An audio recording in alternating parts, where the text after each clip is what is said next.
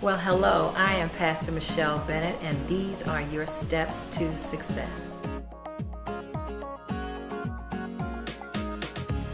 One thing you can be sure of, and one thing that's really inevitable in this life and in every aspect of life, is change. But the good thing to know is that we serve a God who changes not. He is the same yesterday, today, and forever. And the good thing about him is, though, he's a progressive God and he moves. Now, to really embrace change, number one, you're going to have to focus on your goals and outcomes.